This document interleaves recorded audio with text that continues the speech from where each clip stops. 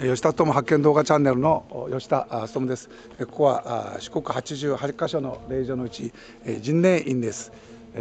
68番になります。ちょうど今参拝の皆さん方がちょうど今日を挙げられております。般若心経をの今日を挙げられております。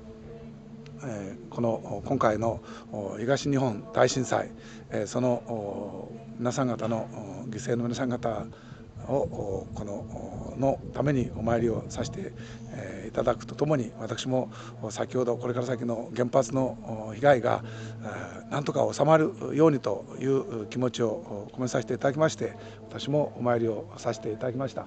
本堂と大師堂があります。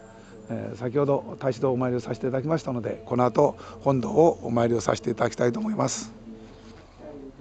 吉田勉発見動画チャンネルの吉田勉でした。般若心経を挙げられている皆さん方の声が遠くでしております。終わります。